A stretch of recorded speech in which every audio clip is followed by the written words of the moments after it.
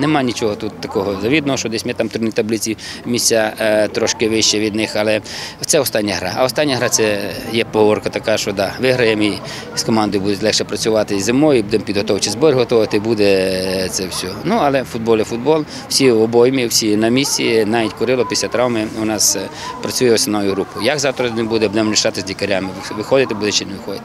Останній матч сезону ФК Тернопіль на рідному стадіоні відбудеться в п'ятницю 22 листопада. Початок зустрічі проти ФК Карлівка о 18 годині.